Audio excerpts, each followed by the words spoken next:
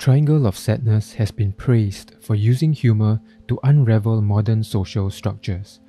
And much has been said about the last act, when Abigail, the overlooked toilet manager of a luxury yacht, gets the opportunity of a lifetime to rewrite her destiny. But this video will explore the opening minutes of the film because it's packed with so many juicy details you won't notice if you're not paying attention. So immediately we're thrown into the middle of a model casting scene. It introduces us to the male lead, Carl, and gives us an insight into his profession. That's all the setup we need to be invested in Carl's story. But there's more to discover. For starters, it's clear that the topless male models waiting for their turn to audition are near the bottom of the fashion industry's pecking order. Because they all have to respond to their present situation in the same way. When the host has a microphone to your face, you better answer with a smile. When you're in the audition room, you follow the instructions of the judges. You speak when you're spoken to, and you do as you're told, regardless of the color of your skin.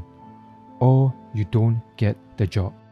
The ethnic diversity is a distraction, including these two women of color who don't appear to be doing anything important, but because they are well dressed and holding clipboards, we're expected to believe that this is a progressive workplace.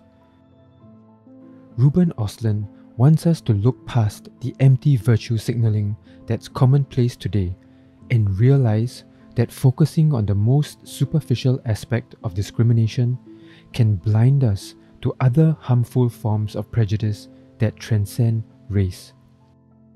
This scene at the judges' table provides additional context. Here, we see an Asian looking woman who's seated off to the side, away from the three judges doing the scrutinizing. She doesn't say a word to anyone. In fact, she has to lean awkwardly just to glimpse the model's portfolio. And none of the judges seek her opinion or acknowledge her in any way. But we know that she's a powerful figure from the way she's dressed and from that boss haircut. If she wasn't important, her French bulldog wouldn't be allowed to roam around unleashed. It's easy to construe this situation as an example of racism, but is it? We're most likely dealing with a European fashion label that's owned or partially owned by an Asian conglomerate. So this woman is their representative who's there to oversee the proceedings. Maybe she has the final say in the casting, or maybe she doesn't. We don't get to find out. But that's beside the point.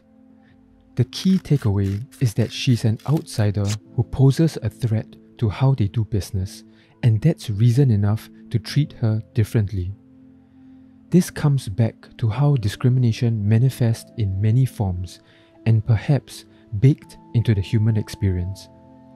For example, the fashion industry is harder to access if you can't afford to go to design school, or you want to be a model but you're too short or don't have the right look. Once we accept that racism is one small aspect of inequality, Ostlund's social commentary becomes more compelling. It also makes Abigail's story stronger because we can accept that she has a thankless, low wage job due to unfortunate circumstances, not because she's Filipino. Let's briefly explore the themes of the film. In part 1, our characters exist in the world of high fashion which represents the pinnacle of human vanity. Here, status, money, charisma, and nepotism are all viable currencies of power to get what you want. In this pretentious realm, the more currencies you can trade in, the better you can advance your position. But the Asian executive lady seems to only possess status, so she may have the power to order people around, but she doesn't have their respect. In part 2, we move to the purely commercial setting of a luxury yacht. Here, status, charisma, and nepotism are less useful because the people who can make things happen for you are the service crew, and they care about Money buys you an attentive concierge. It lets you sit at the captain's table or gives you a tour of the bridge. it will probably guarantee you the best lifeboat. This explains why Yaya and Carl fade into the background during this segment. They don't have what the crew want.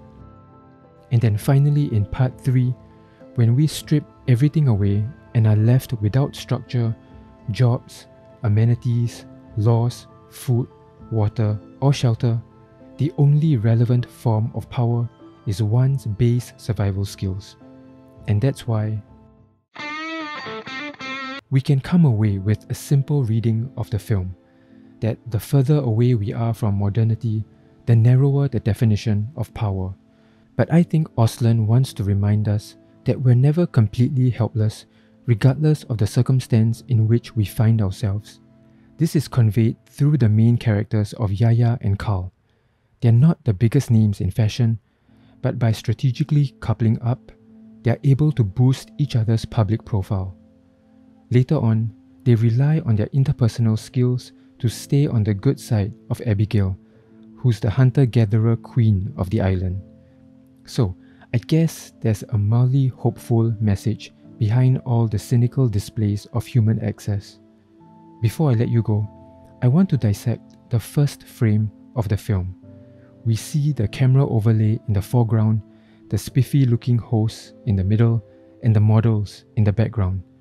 I could be way off base, but I think the camera symbolizes us, the viewer, and the story we want to uncover is represented by the men in the background. Ideally, we want to hear from the men directly, but that's not how cinema works we can only consume stories through a filter. The filter is, of course, the filmmaker, and in this shot appears as a literal middleman. I choose to see it as Ostlund subtly admitting that his attempt to unpack social norms is informed by his biased and privileged perspective, so we risk looking foolish by overanalyzing the film. Alright, that's it from me.